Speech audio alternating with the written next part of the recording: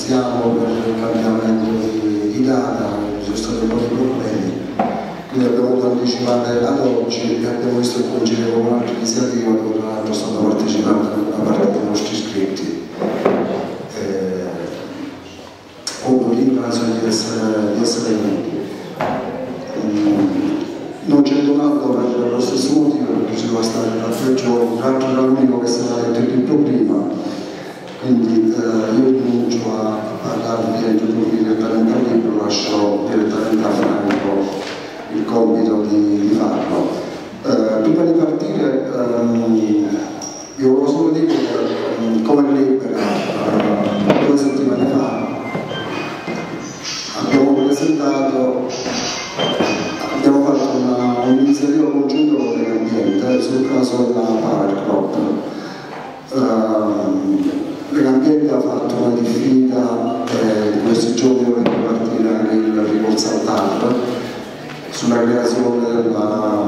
della, del Salviano che è l'unico atto concreto che impedirebbe la costruzione del, dell'impianto e siccome c'è un livello di responsabilità tra Regione, Comune di Avezzano nel senso che il Comune di Avezzano dice non l'abbiamo adottata e la Regione lo doveva approvare. La Regione dice che eh, non sono non è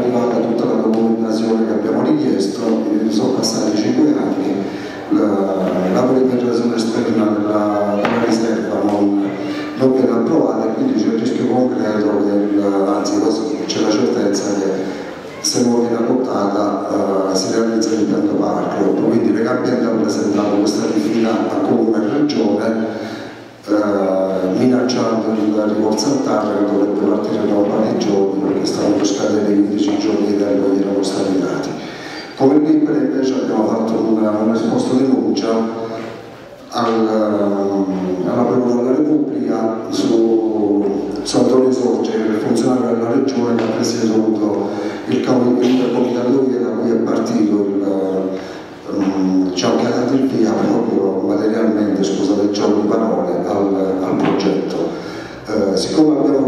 tutta una serie di elementi per cui eh, quel funzionario non poteva proprio presiedere quel, quel comitato, per una serie di rapporti di affari eh, che avevano comunque con, con la Power Crop eh, e quindi abbiamo presentato questa rinuncia mm, sperando che almeno la Regione in via cautelativa sospende quel parere positivo dato dal Comitato Via, la realizzazione dell'impianto.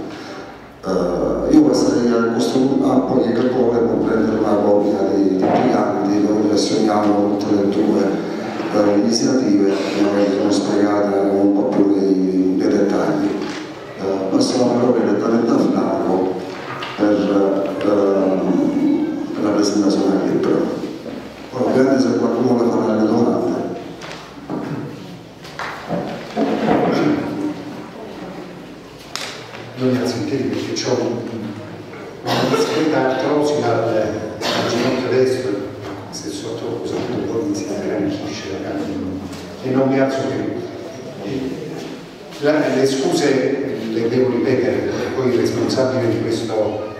anticipo del cambio di data sono io. E, e sono consapevole che ho contratto un debito con Angelo, con, con Libera Abruzzo, con, con tutti voi e, e l'impegno come quando si contrae un debito che di ripagarlo nelle forme e nelle modalità che poi deciderete. Nella sostanza sono a disposizione, torno, le facciamo nelle modalità che ritenete. Ovviamente voi che siete stati così dirigenti e cortesi comunque di essere qui nonostante l'anticipo dell'ultima ora siete eventualmente esonerati.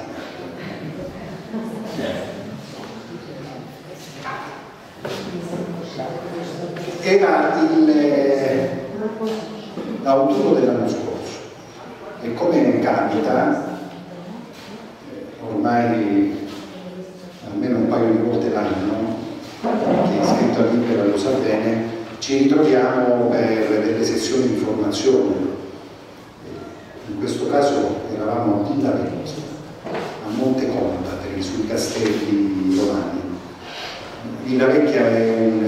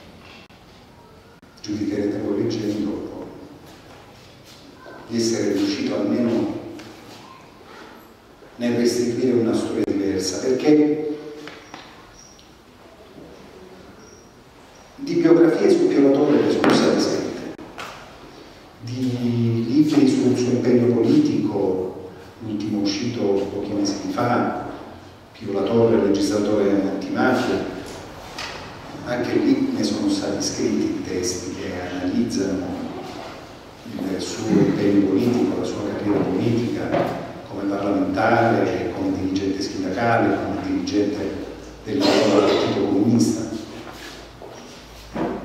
E io personalmente dal punto di vista biografico della biografia politica, non ritenevo di avere nulla da, da aggiungere a quello che è noto. Anche dal punto di vista politico non ero, non sono in possesso di particolari rilevanti, anche perché una parte importante della sua carriera politica si è svolta quando io o non ero ancora nato o ero un ragazzino non in grado di di giudicare di assorbire. E questo era il motivo per cui non, non trovavo, come si dice, la chiave giusta, gli argomenti anche perché sapevo che non dovevo correre il rischio di restituire un racconto personale di quelli che riguardano il buco della serratura.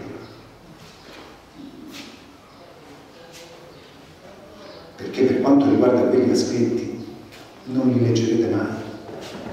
Se magari avremo il piacere di stare insieme, può darsi che insomma, le chiacchiere cadano su questo, questi aspetti della vita familiare e allora tra, tra amici uno può anche raccontare episodi ma scrivere un libro non mi sembrava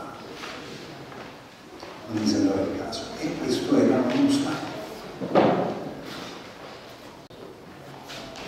alla fine se avete la pazienza appunto di leggerlo, ho trovato una formula che mi sembrava diciamo idonea, che è quello di alternare brevi cenni, brevi cenni biografici e, e politici con la mia testimonianza, eh, raccontando un po' come sono stato cresciuto, educato, o in parte condiviso. E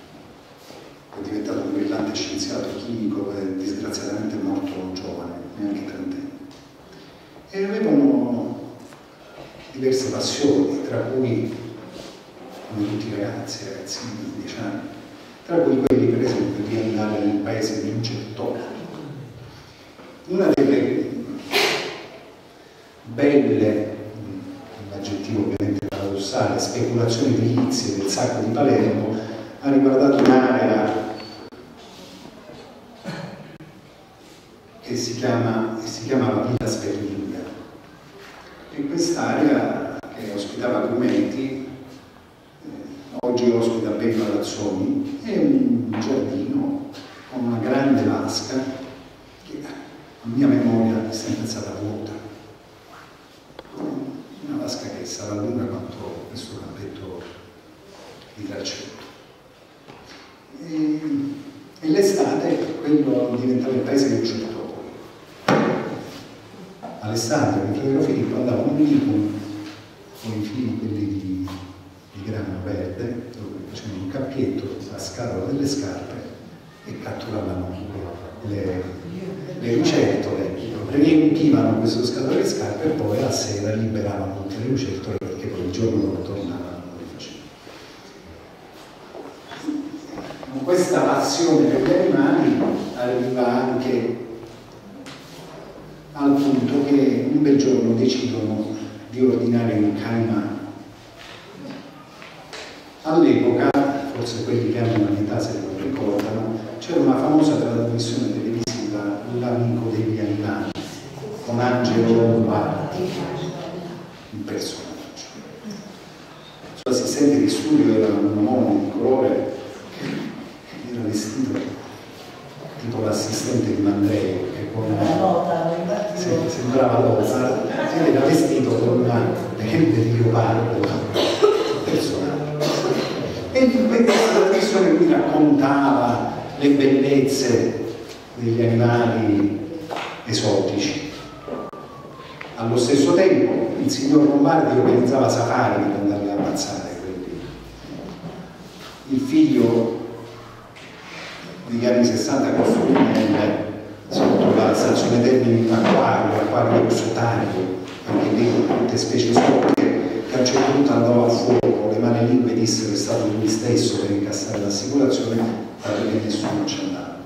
E tra le altre cose Angelo Lombardi faceva import-export di, di specie esotiche, quelle che da un bel po' di anni sono vietate secondo i dettami delle Nazioni Unite.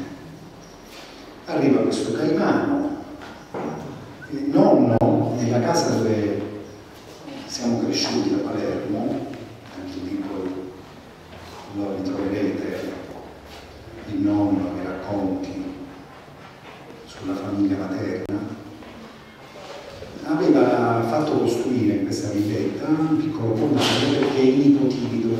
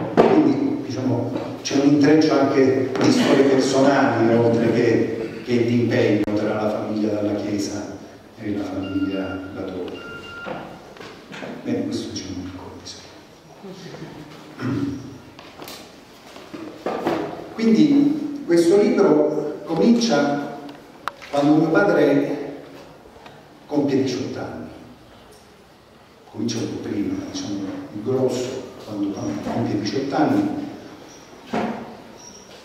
E no, questo libro comincia quando mio padre aveva 4 anni, non facciamo cose serie, proprio l'inizio l'inizio. Perché? Perché con il racconto delle sue origini nasce da una famiglia di contadini poveri della periferia di Palermo, al Tarello di Baida nel 1927, alla vigilia di Natale.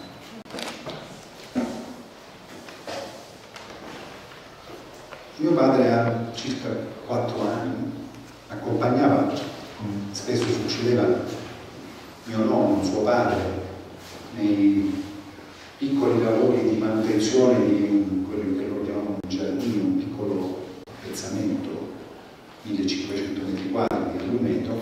E in quell'occasione, rivolgendosi a mio nonno, a mio figlio, gli dice papà, io vorrei andare a scuola. Lì per lì la reazione di nonno non fu, diciamo, quella proprio delle più disponibili. E sa come? Tu sei figlio di contadino. Mio padre faceva il contadino. Tu farai il contadino. E la discussione finisce qui. Mio nonno torna a casa, racconta a, a sua moglie, a mia nonna, tutta la storia. Per fortuna che in ogni famiglia c'era almeno una donna. Perché nonna Angela, analfabeta, era diciamo, complice di tutto questo, perché sin da piccolo aveva ripetuto figli voi dovete studiare, perché non potete fare questa vita di Stato. E quindi si mettono d'accordo, si va bene, va a scuola, a patto che però le spese ci pensi a mia madre, a mia mamma. E comunque io tutte le mattine prima di andare a scuola pulisce la stalla, cioè no, una vacca. Al di là diciamo del- della bellezza di tutto questo, si evince come, seppure all'età di 4-5 anni, mio padre avesse diciamo, interiorizzato le istanze di progresso, ovvero che non c'è una condizione data, si può nascere disgraziati, ma non è detto che si debba morire disgraziati. Di un periodo difficile, perché a cavallo delle due guerre, del vero fascismo, l'Italia ancora era una monarchia e i braccianti poveri erano proprio il gradino più basso della scala sociale. E all'epoca l'unico modo per cercare di risalire quella scala era studiare. Con tutti i limiti del caso, come sapete, la scuola media non era aperta a tutti, la scelta fu l'avviamento professionale, quindi le scuole tecniche che non davano diritto all'ingresso all'università, mio padre fa gli esami da privatisti allo scientifico e si iscrive a ingegneria. Contemporaneamente comincia a occuparsi di politica. Grazie a, mi ricorda un insegnante di filosofia del liceo che gli aveva aperto gli occhi e gli aveva fatto capire che quello che lui aveva sperimentato su se stesso, ribellarsi a una condizione di subalternità, di vassallaggio, di miseria, fosse possibile farlo con successo, oltre che sul piano individuale, anche su quello politico. In quella borgata lui aveva visto, era cresciuto, conosceva bene le condizioni dei braccianti poveri. E quindi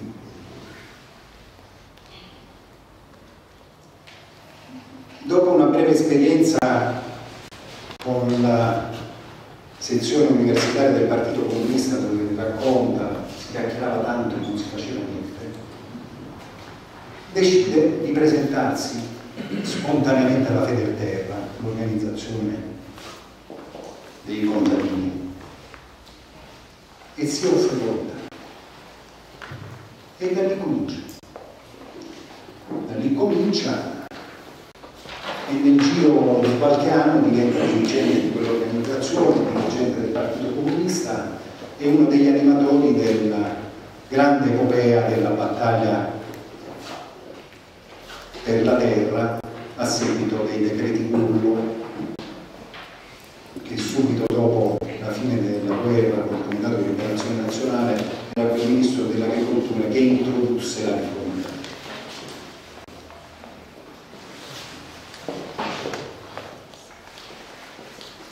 Esperienza straordinaria. In quegli anni mio padre incontra mia madre, l'opposto.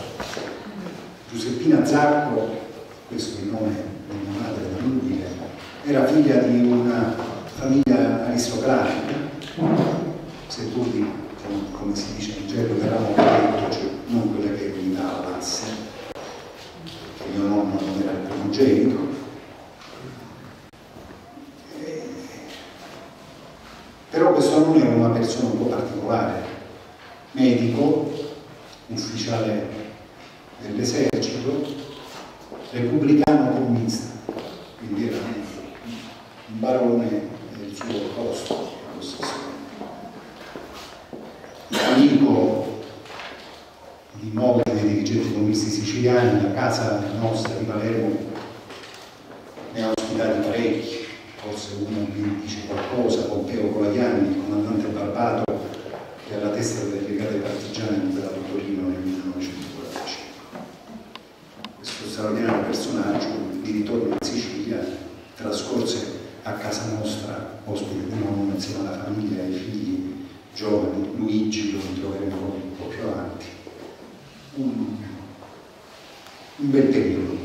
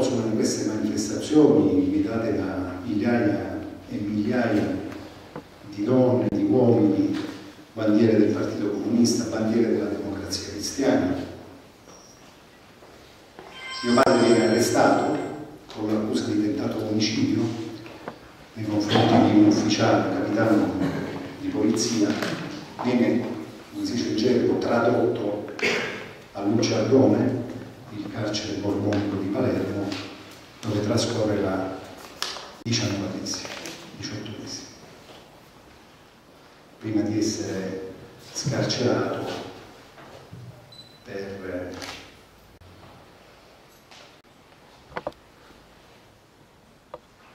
perché il fatto non era mai accaduto.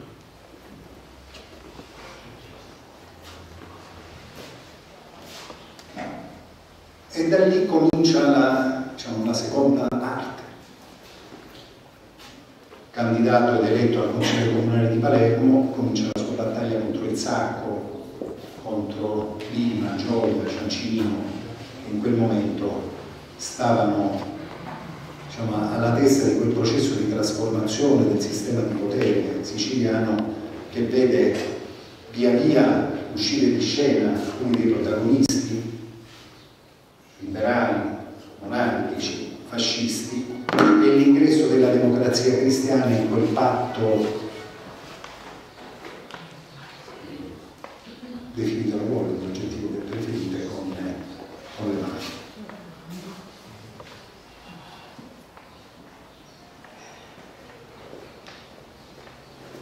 giunciamo rapidamente alla fine degli anni 50, quando mio padre, segretario della Camera del Lavoro, diventa segretario regionale della CGL in Sicilia nel 1960 e comincia la battaglia per lo sviluppo della Sicilia.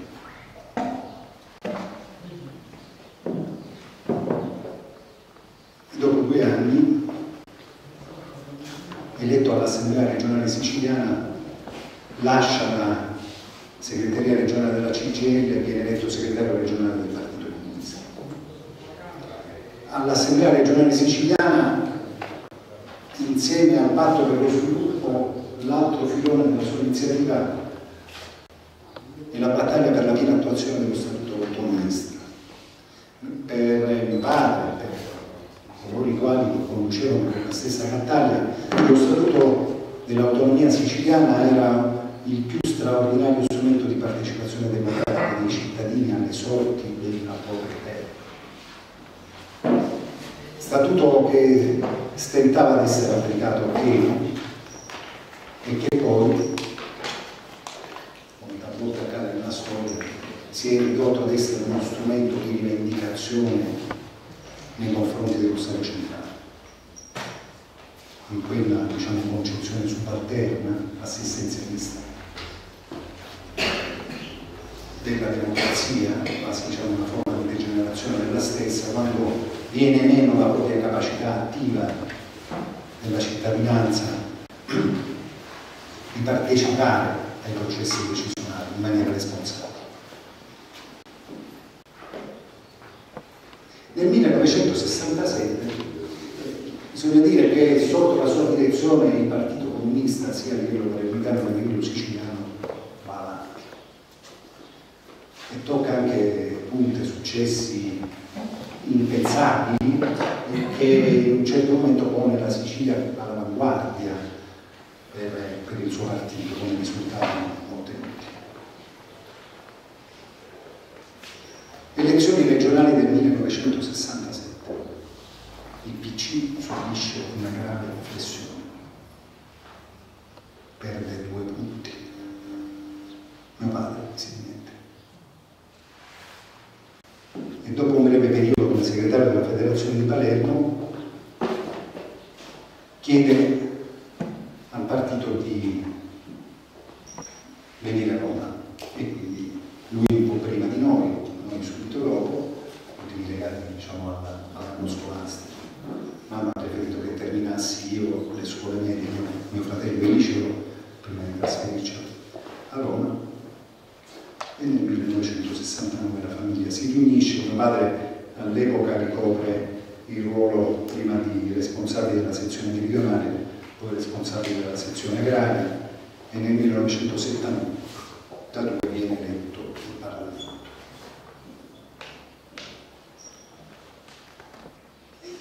E lì,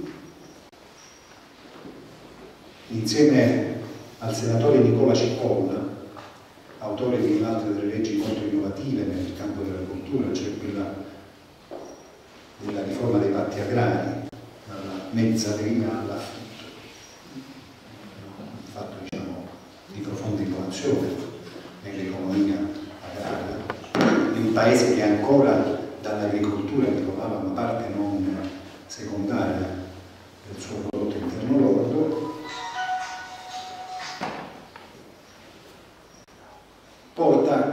la, la sua esperienza siciliana a livello nazionale.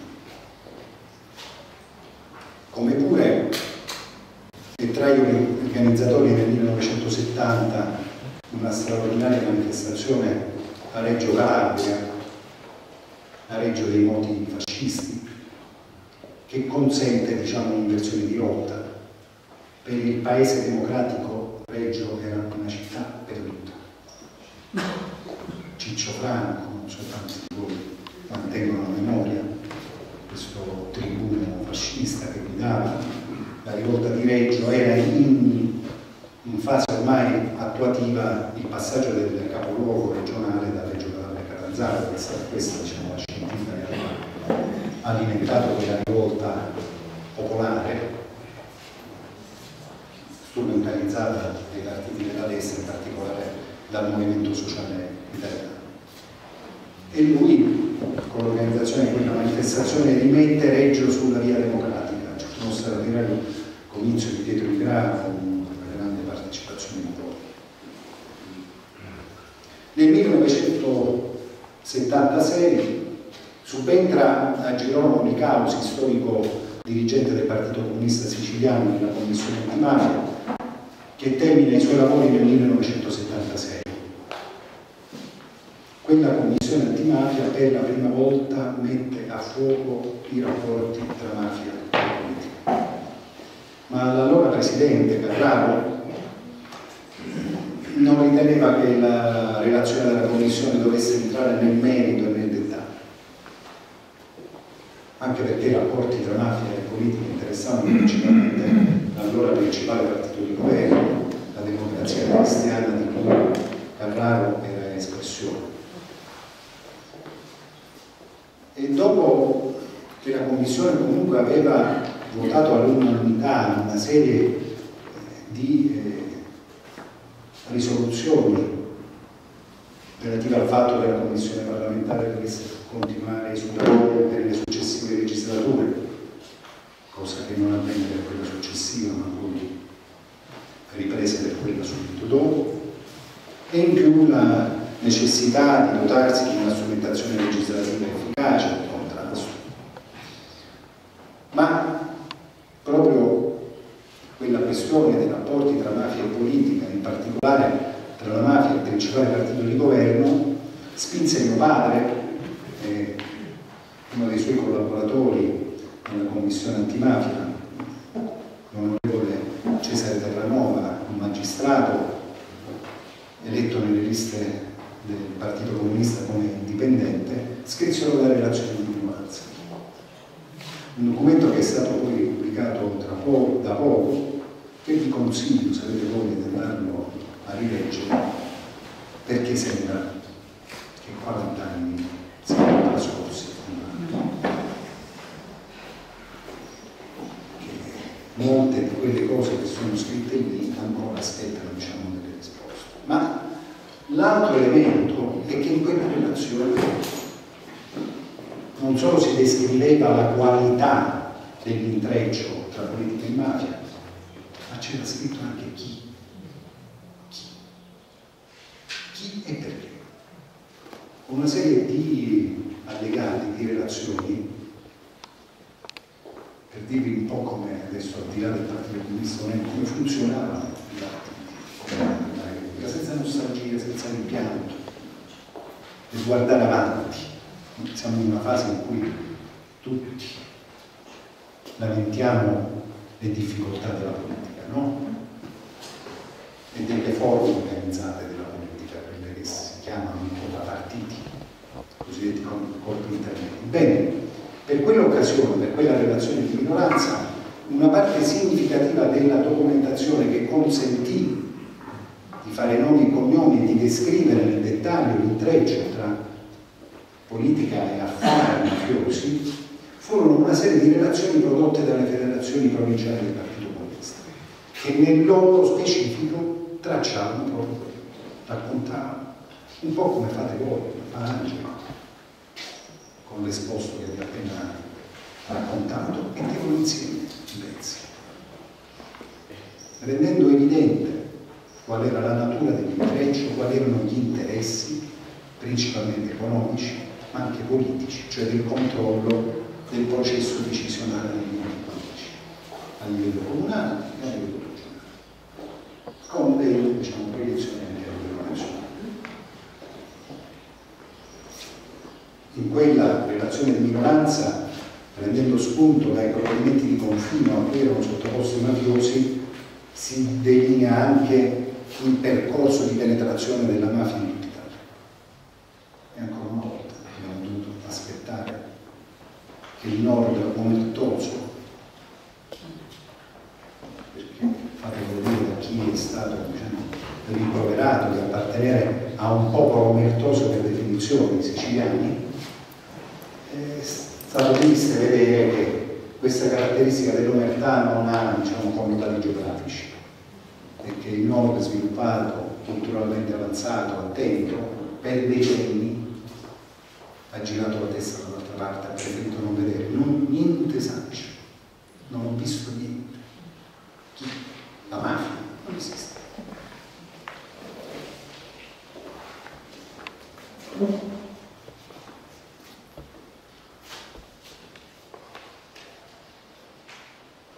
La cronaca, diciamo, biografica si conclude poco dopo. Si conclude poco dopo perché nel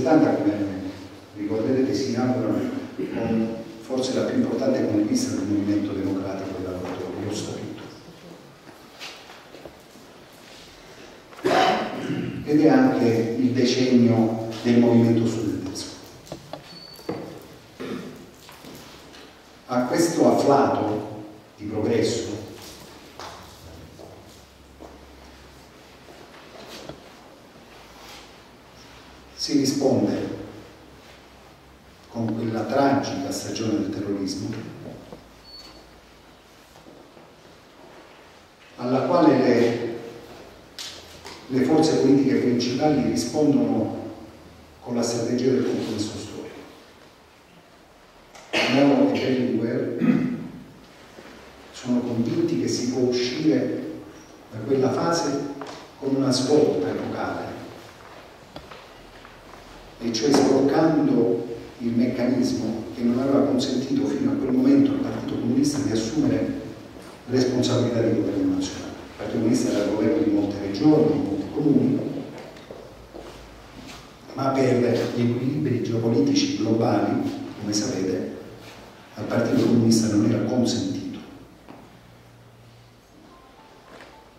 anche a fronte di straordinari successi elettorali come quelli anni, della metà degli anni 70, di, di partecipare al governo.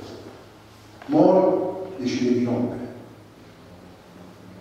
e incontra Berlinguer. Ma all'indomani praticamente Moro viene rapito e ucciso.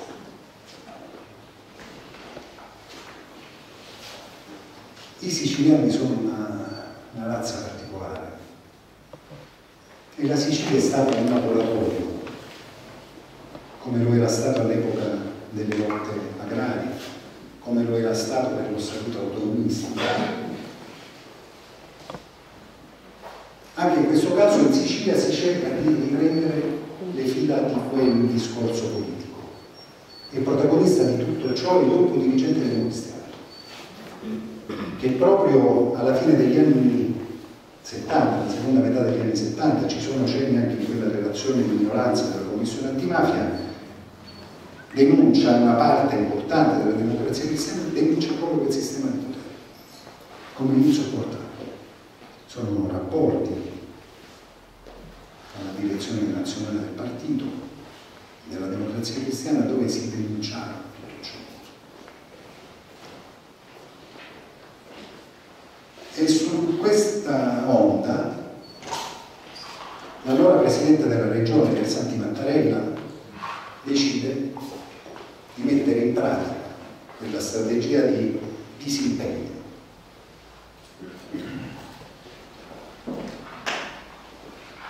Per Santi Mattarella viene ucciso il giorno dell'Epifania del 1980.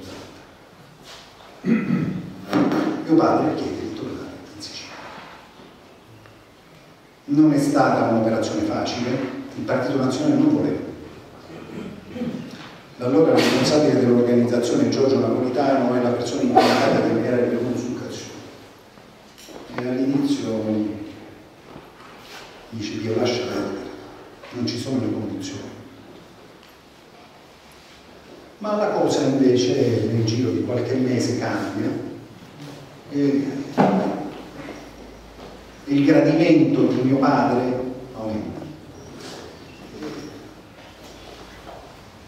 Perché poi le storie sono un po' strane.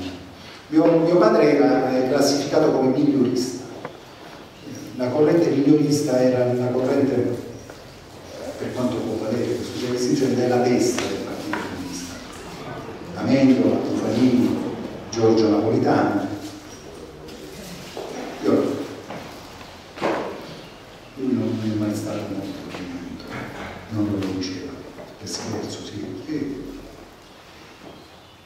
Ed era quindi avvertito come un uomo della destra, come uno che tornava in Sicilia ci abbiamo bisogno di uno che venga dal centro del partito, si sentivano eh, come figli di un dio di nome, hanno sempre bisogno di qualcuno. E in più, e in più avevano, i siciliani avevano un loro candidato, quel Luigi Colaiani, figlio di Pompeo, che era cresciuto a casa nostra. E sono loro due che si sfidavano.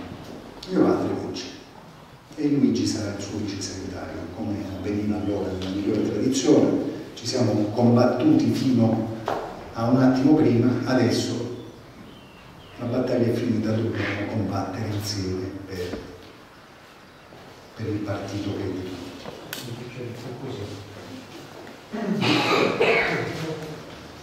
In quel momento in Sicilia stava avvenendo un altro fatto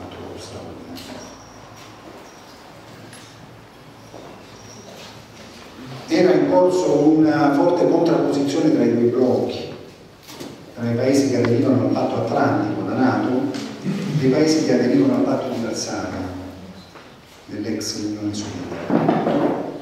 E questa contrapposizione aveva determinato la decisione di installare missili a testata nucleare in tutta Europa.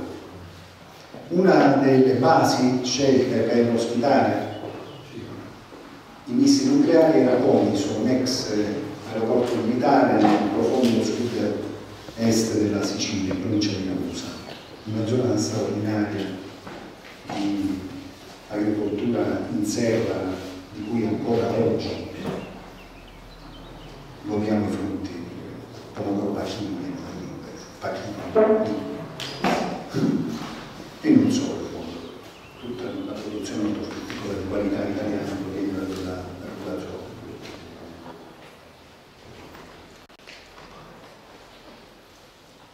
Mio padre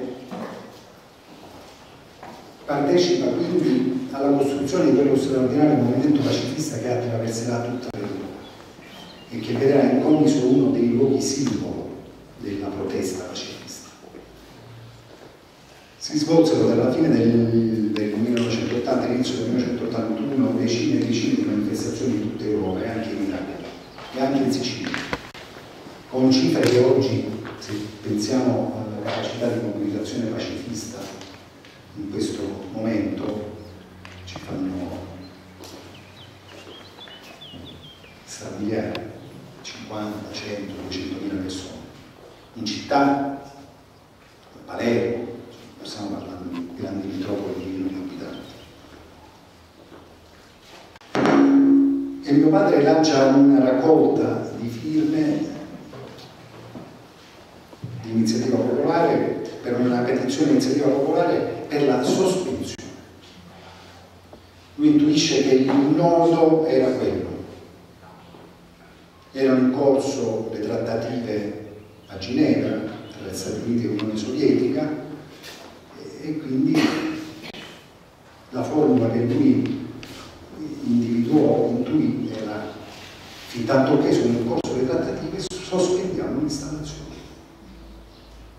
perché può darsi che queste trattative vadano a buon fine, si decide di fare pace e quindi che li mettono a fare i missili. Un milione di figli della Sicilia, che all'epoca contava poco più di 5 milioni di abitanti, insomma, diciamo, in ogni famiglia qualcuno aveva firmato.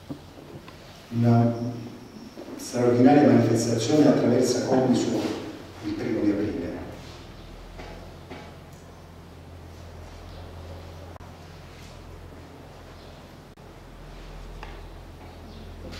il primo maggio ci sarebbe stata la consueta mobilitazione a Portella delle Ginestre. Mio padre aveva deciso che per il primo maggio non sarebbe andato a Portella, sarebbe andato a Comoso. Non ci andò, perché il 30 aprile fu ucciso insieme a Rosario di Salvo.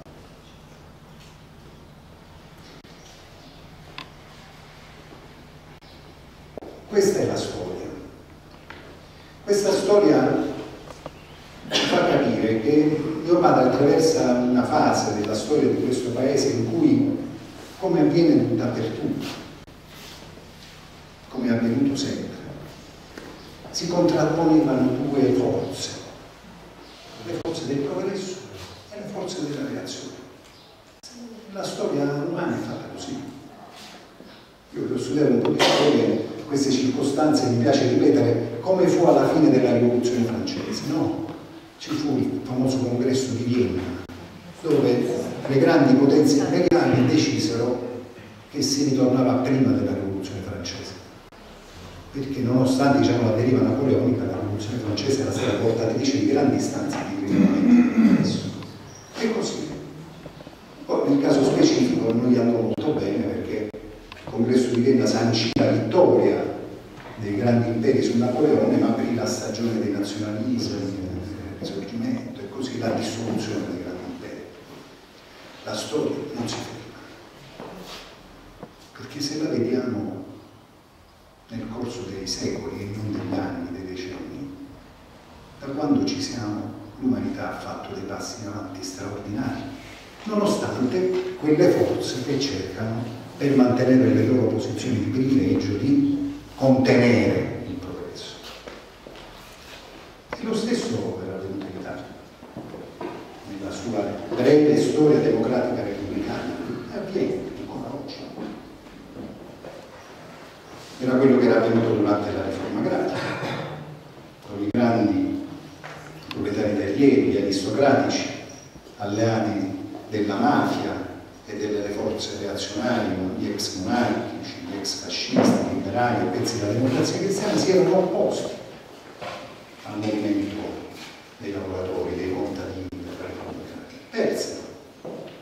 Qualche cosa riuscivano a risparmiare, ma persero. E infatti non esistono, quelli lì non esistono più. Ma le istanze della conservazione della relazione non è che sono legate a un modello, tanto che c'è il barone ci siamo, quando non c'è più il barone non ci siamo. Si, diciamo, si rigenerano in altre istanze, sempre con questi intrecci. Economia, politica, istituzioni e criminalità. Sempre così. Così. Perché alla base di tutto questo c'è quella definizione di mio padre che la mafia è un fenomeno di classi dirigenti, non di classi subalterne, non di poveracci. È il fenomeno delle classi dirigenti reazionarie. Nel caso italiano delle classi dirigenti che hanno rifiutato il patto democratico, che loro con la Costituzione, se ci si potevano pulire il sedere, erano contenti. E quindi non riconoscono le riforme in questo Stato democratico, non riconoscono il Parlamento come massimo momento e luogo di confronto democratico. Perché per quel sistema di potere l'avversario va eliminato fisicamente, non ci si discute, se contrario all'interesse di ricchi. Ed è quello che succede in Sicilia in quegli anni. Perché tra la fine degli anni 70 e l'inizio degli anni 80 la classe dirigente siciliana viene uccisa. È uno sterminio. Perché prima di Piersanti Mattarella era stato ucciso il segretario provinciale della democrazia cristiana, che insieme a lui lavorava per la scuola, magistrati, investigatori, giornalisti, e poi continuano con la torre e con la Chiesa, quello è il cuore. Il capo del governo, il massimo rappresentante dello Stato nelle, nella regione, il prefetto della Chiesa, il capo dell'opposizione, procuratori, presidenti di tribunali. Stesso Cesare Terranova Quintumani nel suo rientro in magistratura dopo quella straordinaria esperienza che ha ucciso.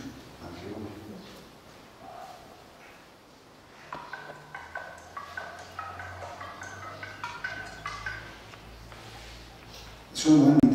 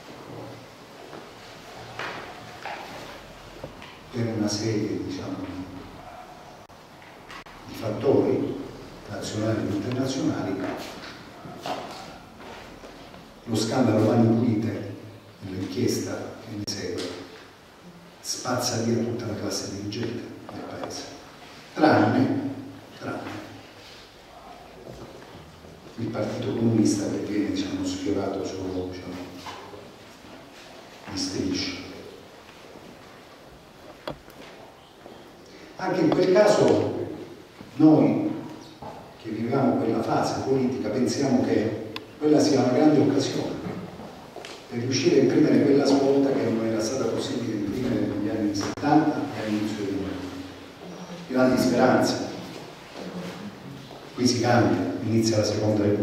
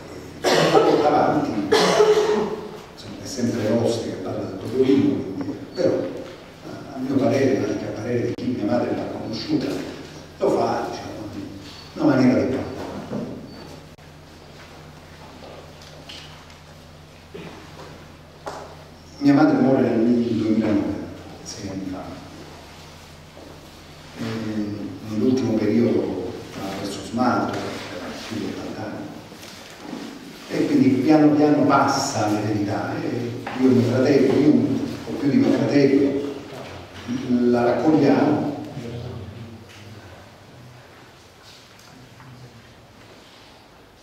E arriviamo a quel famoso fatidico 2012, in cui io diciamo, arrivo a trarre un po' le conclusioni di quel trentennio.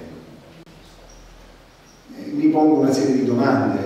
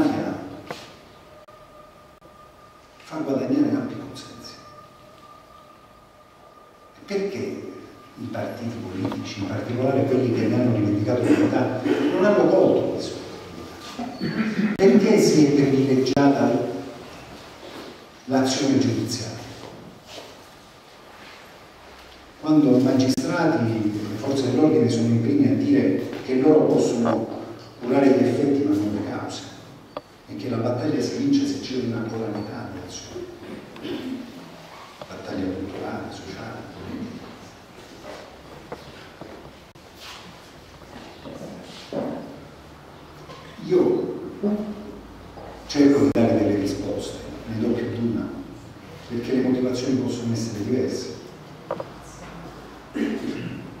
Non si è capito fino a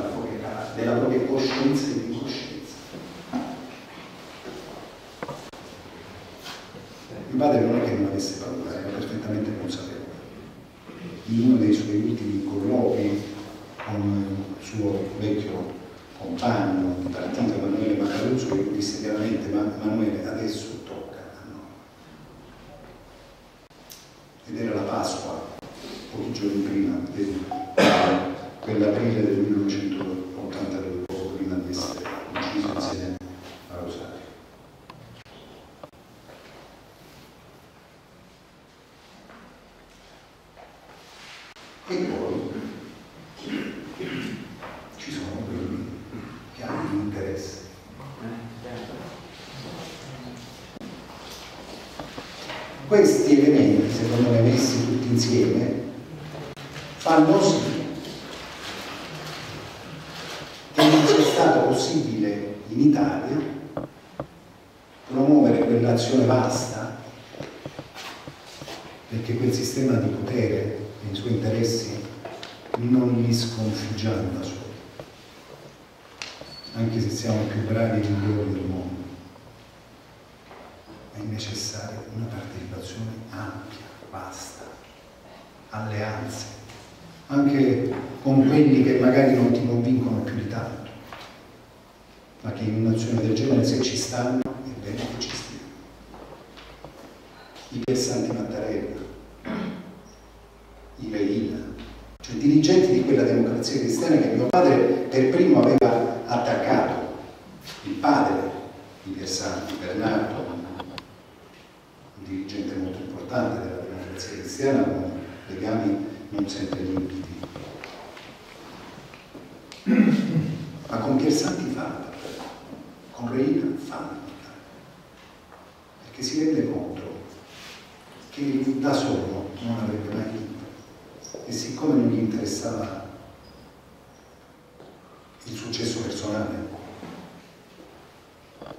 la soddisfazione di poter dire io ci provo, io sono io, io, io, ma il risultato, e il risultato si poteva e si può conseguire solo a queste condizioni. Tutto questo, tutto questo è lungo 120 pagine ed Emilia, l'editrice, mi dice non pubblica. Bella edizione Melampo, 120 pagine, un po'. Non è che c'è un paio di articoli interessanti di Povaro che possiamo allegare.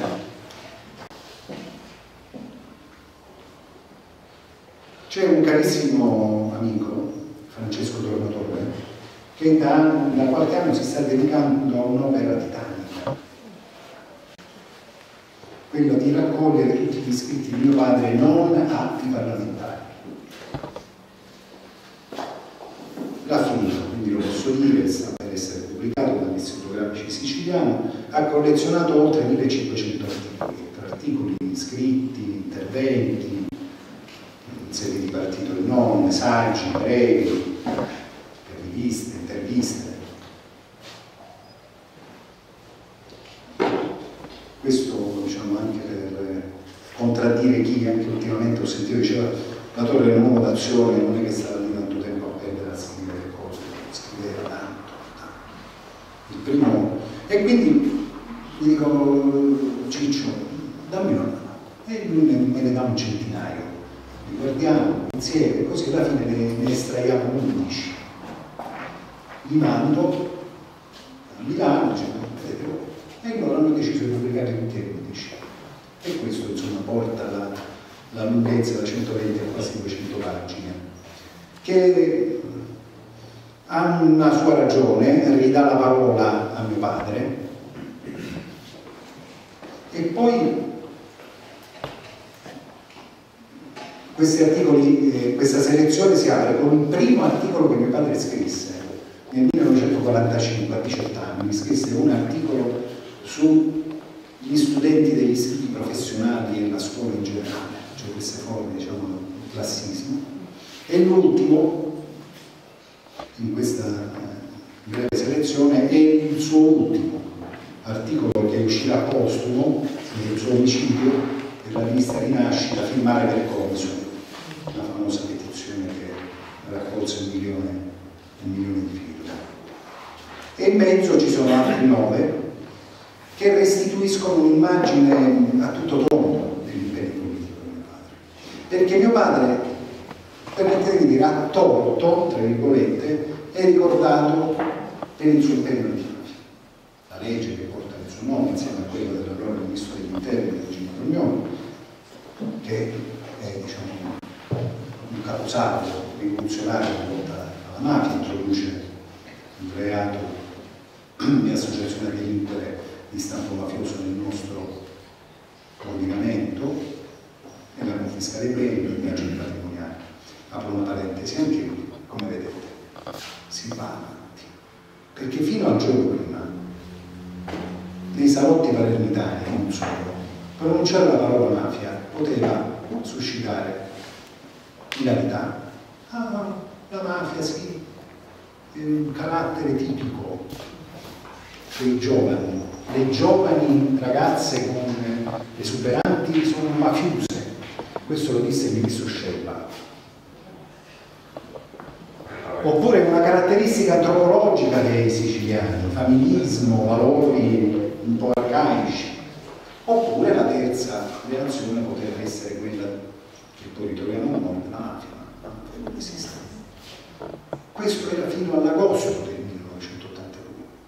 Dal settembre, data di approvazione della legge, dopo l'estremo sacrificio dalla Chiesa, non bastò uccidere la torre di Salvo per vedere l'approvazione della legge, bisogna, come succede in Italia, toccare il fondo prima di risalire. E quindi 3 settembre l'omicidio dalla Chiesa. Fino all'agosto la situazione era quella. Dal settembre non si poteva più negare l'esistenza della mafia e non, si vantare, non ci si poteva neanche vantare di essere mafiosi perché finivi in galera. È una rivoluzione. È possibile. La storia di mio padre e la storia di questo paese ci dimostra che non ci dobbiamo rassegnare, che se l'ostacolo ci può apparire insormontabile non lo è, dipende dalla nostra capacità e dagli strumenti che abbiamo per superare l'ostacolo. Non esistono anche perché gli ostacoli umani li costruiscono gli esseri umani, noi siamo umani quanto quelli che hanno costruito gli ostacoli, e come i furti e gli antifurti. No? c'è un furto, c'è un antifurto e poi c'è il furto che se ne frega dell'antifurto e si va avanti così. così. Però in questo procedere, per fortuna, nel lungo periodo si va sempre avanti. Bene, perché per mio padre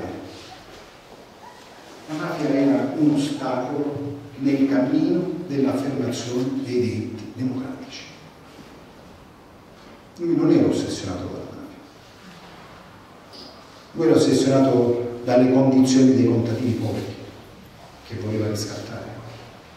Lui era ossessionato da quello statuto dell'autonomia che non si riusciva ad attuare. Lui era ossessionato da un modello di sviluppo calato dal nord che voleva la Sicilia base di grandi impianti siderurgici esiziali per l'ambiente. Lui era per la pace perché la Sicilia non fosse una portaerei, ma fosse una piattaforma di cooperazione nel Mediterraneo.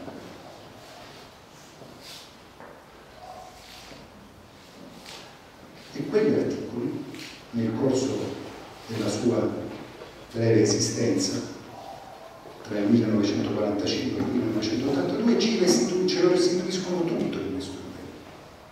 Nel dibattito con le altre forze politiche, a scuola, la lotta per la terra, contro il sacco di Palermo, le battaglie all'Assemblea regionale siciliana per lo sviluppo e poi, non ultimo, quelle contro l'installazione dei missili nucleari a Comiso. È evidente, a mio padre era evidente che ogni volta si trova di mezzo la mafia, cioè quelle classi dirigenti che dicevano ma matto. E quindi uno strumento atto a contrastare quel fenomeno delle classi dirigenti era il modo per mio padre per affermare pienamente i diritti costituzionali.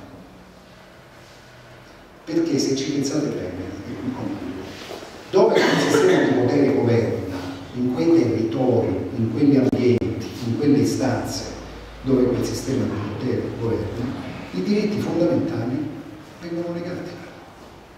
Non si esprime liberamente il proprio diritto al voto, perché come devi votare lo decide il capo politico. Della zona. Il diritto al lavoro, perché lavora solo chi vuole il boss politico o mafioso il diritto alla libertà di espressione, i giornalisti vengono ammazzati, il diritto alla salute, perché quei direttori delle aziende sanitarie locali vengono nominati non certo per il bene nostro, per la salute nostra, ma per garantire che gli appalti vadano alle aziende controllate dal sistema di potere.